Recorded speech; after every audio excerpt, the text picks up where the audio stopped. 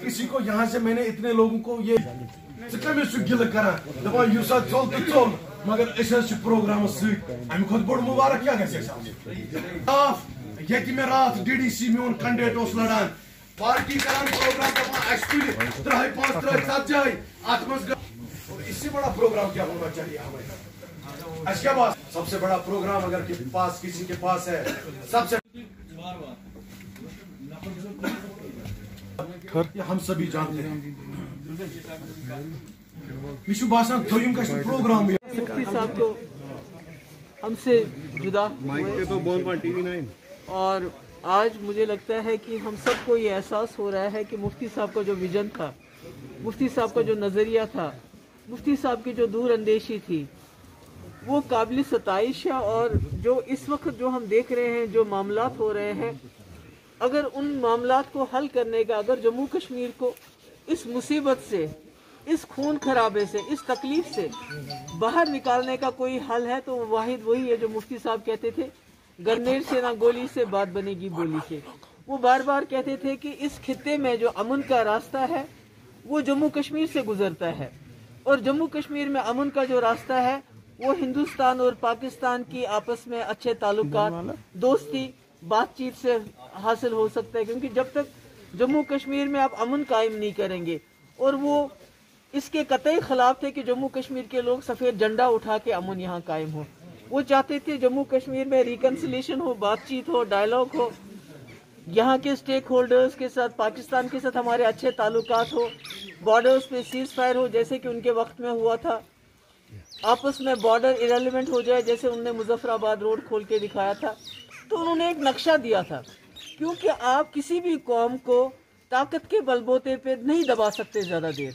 आप एक इंसान को आप उसको कैद कर सकते हैं पर उसके ख्याल को कैद नहीं कर सकते। इसलिए ये ख्याल की जंग है जो मुफ्ती साहब बार बार कहते थे और इस जंग को जीतने के लिए ज़रूरी है कि हम आपस में बातचीत करें रिकन्सिलेशन हो डायलॉग हो और हम जिस मुल्क में रहते हैं वो मुल्क की, की जो सरकार है वो ये समझे इस बात को जाने कि ताकत से कोई दुनिया में कोई भी ताकत ताकत के बलबूते पे लोगों के दिल और दिमाग नहीं जीत पाई है।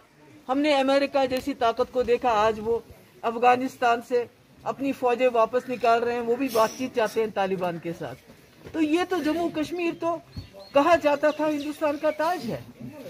जम्मू कश्मीर ये तो एक मुस्लिम मेजोरिटी स्टेट होने के बावजूद हिंदुस्तान का हाथ थामा था। तो आज मैं समझती हूँ कि उस हिंदुस्तान के जो लोग हैं, उनको ये समझना चाहिए कि जिस बेदर्दी से 5 अगस्त 2019 को बीजेपी के सरकार ने, बीजेपी के जो अक्सरियत का जिन्होंने गलत इस्तेमाल किया और जम्मू कश्मीर के लोगों के ऊपर इतने बड़े जुल्म के पहाड़ ढाए, इतनी मुसीबतें डाल दी तो ये इससे जम्मू कश्मीर मुल्क के नज़दीक नहीं आ सकते, बल्कि और दूर चला गया है। तो मैं समझती हूँ कि मुफ्ती साहब का नज़रिया और हमने इस बात को तिमो एजेंसियों तिमो फेसबुक चलावन वालों तिमो मुखबिरों तिमो करने खतर। मगर ये टस से मस नहीं हुई, इसकी आवाज़ what does it mean inclination देखिए। भया से बस प्रोग्राम जो जनाब मुफ्ती मुफ्ती, महबूबा मुफ्ती। परवरदिगार थोड़े देखा होगा कि आज इस बात का अहद किया गया।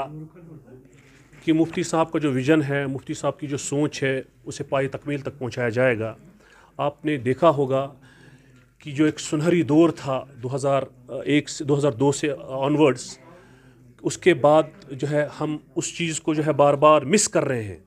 हम ये समझते हैं कि अगर यहाँ दायमी अमन हो सकता है, सिर्फ़ और सिर्फ़ वो मुफ्ती साहब का जो विज़न है, मुफ्ती साहब की जो सोच है तो उसको अमलाना होगा, उसको अपनाना होगा तो यहाँ दायमी अमन हो सकता है। ये जो ज़ोर ज़बरदस्ती की पॉलिसी है कि लोगों की जो आवाज़ दबाई जा रही है, चाहे यहाँ की लीडरशिप है, यहाँ का प्रेस है, यहाँ के सिविल सोसाइटी के लोग हैं, ये ज़्यादा देर तक चलेगी नहीं। यहाँ जो है, ये जो ज़ोर ज़बरदस्ती की पॉलिसी है, मैं ये समझता हूँ, इससे दिन ब दिन हालात ख़राब हो रहे हैं और इस तरह जो है, आप देखो हमारे बच्चों को कैसे जो है, बेदर्दी से मारा जा रहा है। कोई उसके कोई उस, उसको पूछ नहीं रहा है कोई अकाउंटेबिलिटी नहीं है चेक एंड बैलेंस नहीं है।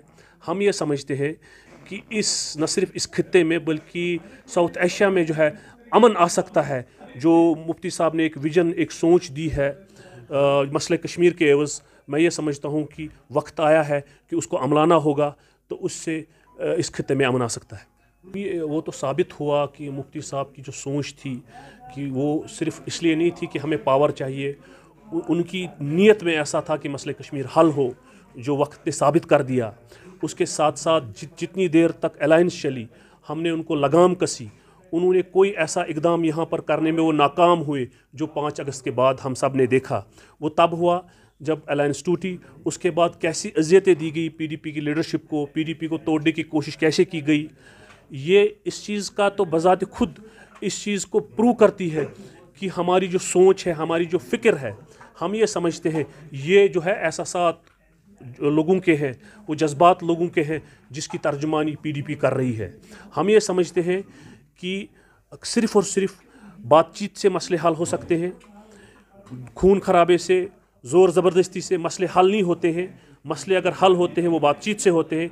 हमारी पूरी कोशिश रहेगी, जो मुफ्ती साहब का विज़न है, जो उसकी सोच है, उसको घर घर तक पहुँचाया जाए और इन ताला हमारी पूरी कोशिश रहेगी कि उसे अमलाया जाए government of India government of Pakistan बातचीत करे और इस मसले का, जो कश्मीर का मसला, दीरीनी मसला है, इसको हल करने की कोशिश की जाए